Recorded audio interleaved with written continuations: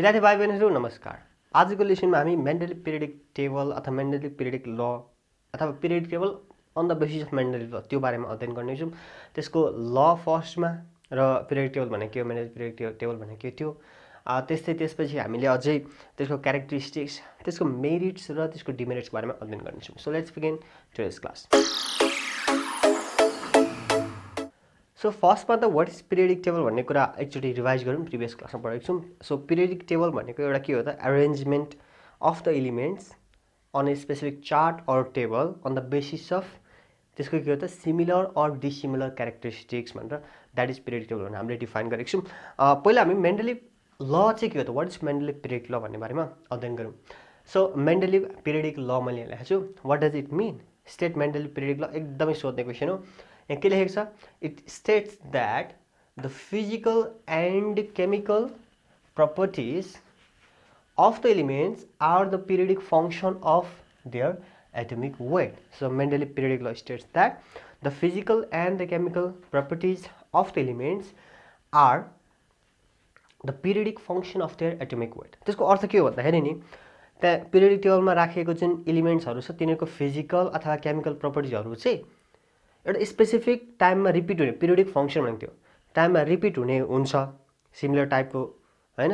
र त्यो चाहिँ एटमिक वेटमा डिपेन्डेन्ट हुन्छ एटमिक वेट इन्क्रिज हुँदै आखेरि एउटा यस्तो पोइन्ट आउँछ कि सिमिलर क्यारेक्टरिस्टिक्सहरूको इलिमेन्ट रिपिट हुन्छ कि पिरियडिक फङ्सन भनेको थियो अनि चाहिँ के रहेछ त it states that the physical and the chemical properties of the element are the periodic function of their atomic mass अथवा atomic weight that is the Mendeleev periodic law so अर्को पनि क्वेसन सोच्छ वाट इज मेन्टली टेबल अब यहाँ नझुकिनु होला बच्चाहरू एकदम धेरै झुकिन्छन्।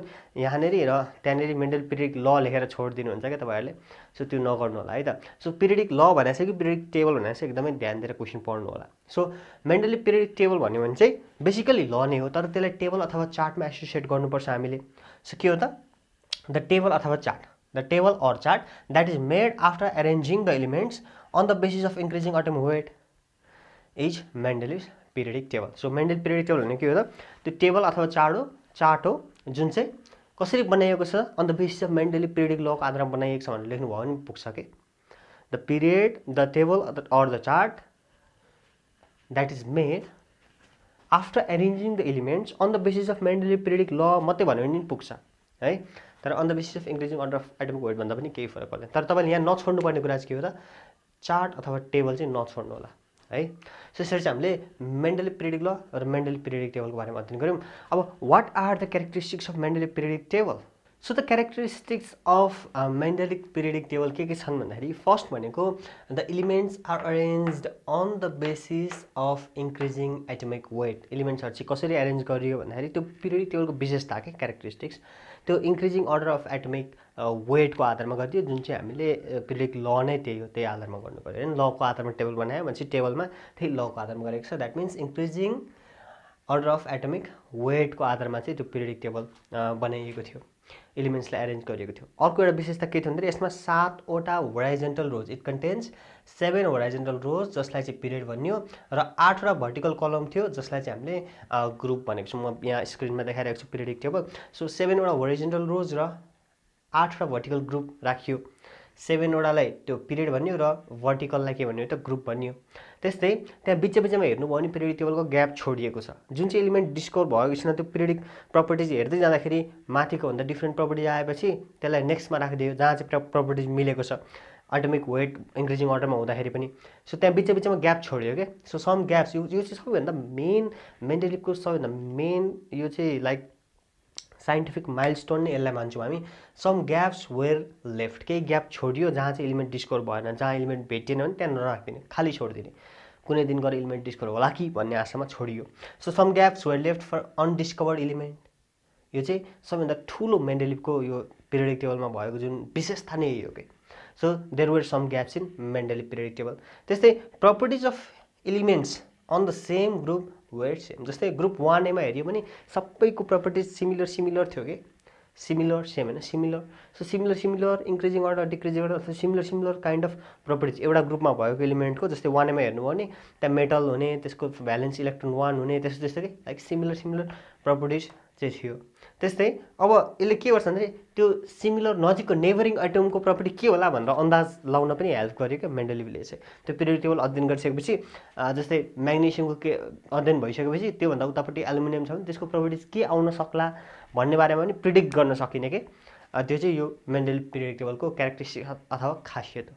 र यसको फाइदा छ यसको merits of Mendeleev periodic table भनेर हामीले अध्ययन गर्छौँ। So what are the merits of Mendeleev periodic table first भनेको यो एउटा फर्स्ट सिस्टमिक क्लासिफिकेसन हो साइन्टिफिक क्लासिफिकेसन हो र यो इजी छ र यो प्र्याक्टिकल पनि छ त्यति बेलाको। First easy systemic scientific classification that was easy and practical यो मेन्डलिपको मेरिट्समा पर्छ। त्यस्तै अर्को के हो त यसको मेरिट्स? त्यहाँनिर बिच बिचमा जुन ग्याप छोडेको थियो नि अघि मैले भनेको त्यो ग्याप छोड्नु नै सबभन्दा ठुलो यसको मेरिट हो। त्यहाँ के गर्यो त अनडिस्कभर इलिमेन्टको लागि ग्याप छोडियो। त्यस्तै अर्को छ atomic weight of many doubtful element त्यहाँनिर पहिला त्यो मेनल पिरियड टेबल आउनुभन्दा अगाडि धेरै इलिमेन्टको वेट चाहिँ के हो भनेर कन्फ्युजन एकदमै धेरै हुन्थ्यो कि।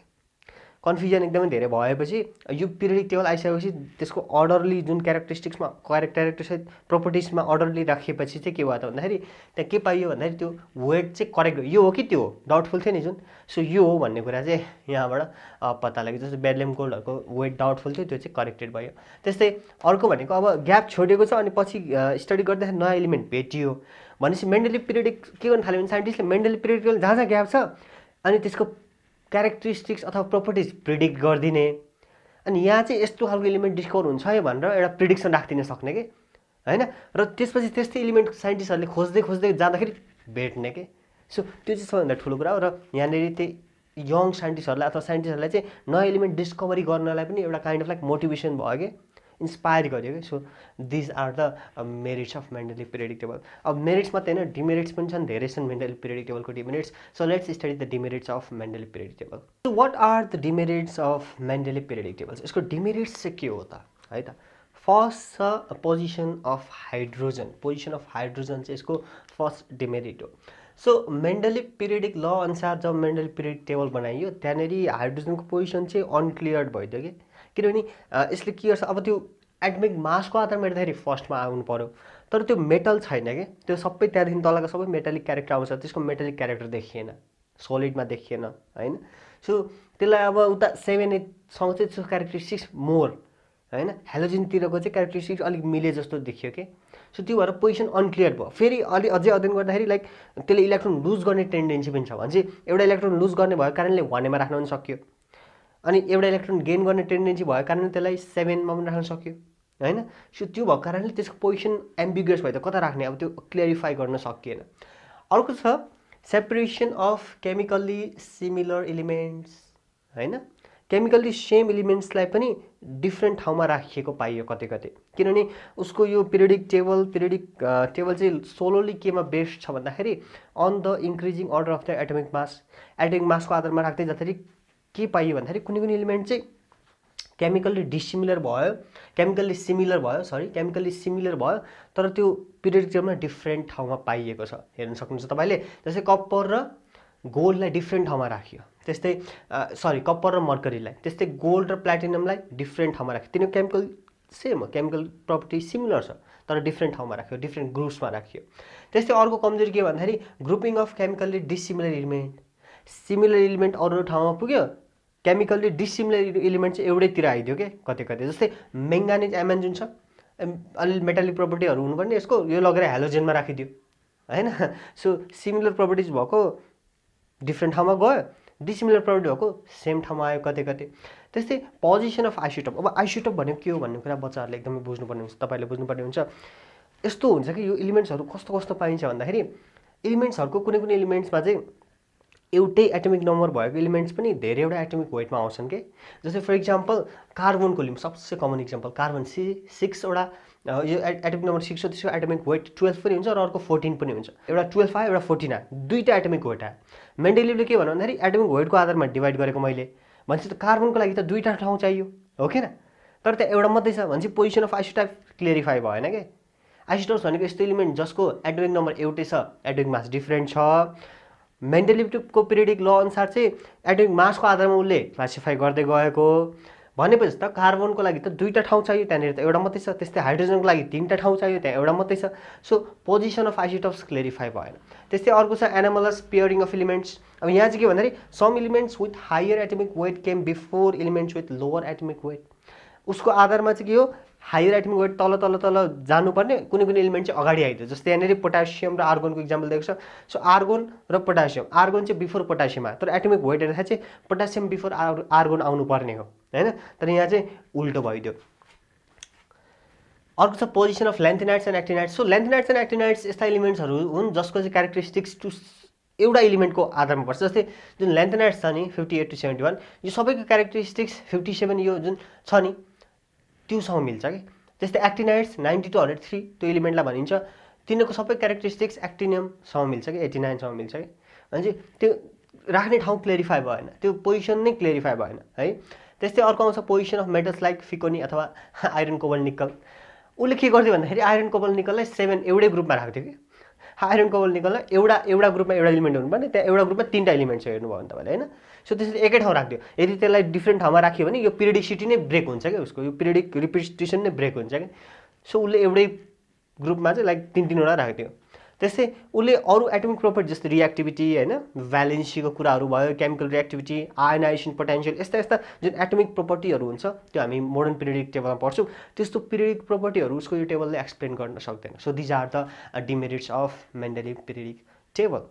So what do you think about today's video? Go down below, put a comment, like, share, subscribe and hit that bell icon. Stay home, stay.